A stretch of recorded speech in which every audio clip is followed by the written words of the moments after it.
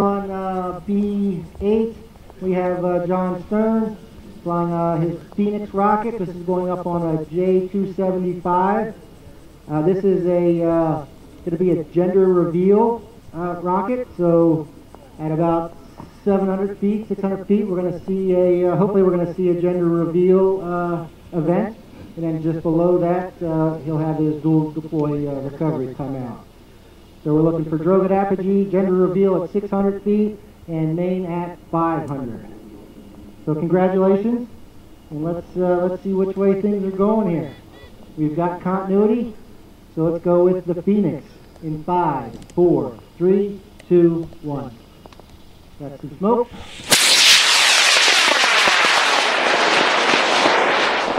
Very nice, nice majestic slow takeoff there. Coming up over the top. See that first event? And it's in its apart. Coming down pretty good. Got the booster down below there. Looking for 600 for that uh, reveal. There we go. All right. We got a girl. And the main is out. Woo! Congratulations to you both.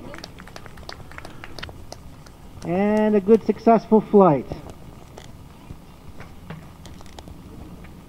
All right, we got quite a few rockets sitting out there. We could take care of some uh, igniters. If you need help checking continuity, just let us know and we can check for you.